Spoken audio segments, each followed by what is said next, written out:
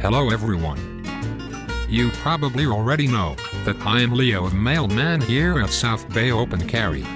This week's mailbag is a little different. This week's question was emailed to me by Harley, our president and founder. Harley wants to know why I have not mentioned our really cool t-shirts to you. Well for one thing, Harley, Mr. Big Shot, President, I have been stuck in this cave for weeks, alone. By myself. Nobody ever said, Cleo, we have new t-shirts, would you like one?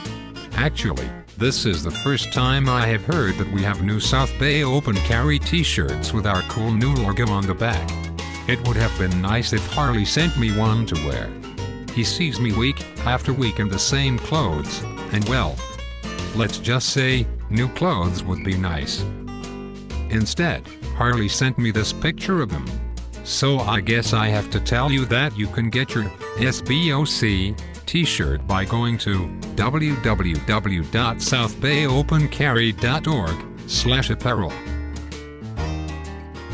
Well, now that Harley has turned me into a pitchman, let's not forget why I am here. If you have a real question, you can email me at questions at southbayopencarry.org. I'll be back next week to answer a real question. Man, I hope Jennifer doesn't see this. Anyway, don't forget. You can order your t-shirts at www.southbayopencarry.org slash apparel. If you are feeling generous, I wear an extra small. See you next week.